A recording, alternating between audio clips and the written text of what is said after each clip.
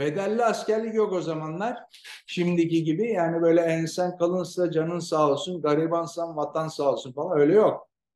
Ama insan tabii. Korkan var, kaçan var. Albay Halit var. Deli Halit. Buna deli lakabını Mustafa Kemal takmış. Albay Deli Halit.